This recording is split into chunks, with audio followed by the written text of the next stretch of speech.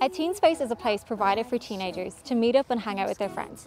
A place for them to engage in unstructured activities such as ball games, exercise and hanging out. The Teen Space programme was established in response to a county-wide consultation carried out with teenagers. During consultations, South Dublin County Council heard from teenagers who reported feeling harassed by adults wherever they went. They are often made to feel unwelcome in town centres, outside shops and in playgrounds and parks. They reported feeling unwelcome sitting and chatting in their own housing estates. They get criticised for staying in their rooms and for going out with friends. There are no public places designed for them.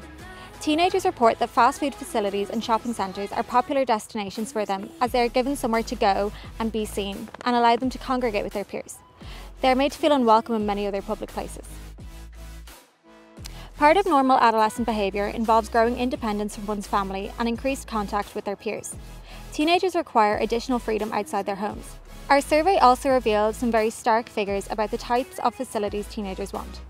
Over 90% of respondents want areas for hanging out and unstructured physical activity, as opposed to the only 5% asking for more sports facilities.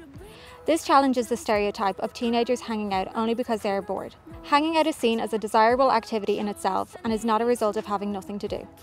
The consultation also pointed to a high demand for physical activity and play as well for real life social interaction. This is very positive finding as there are many positives in terms of physical and mental health of outdoor activities.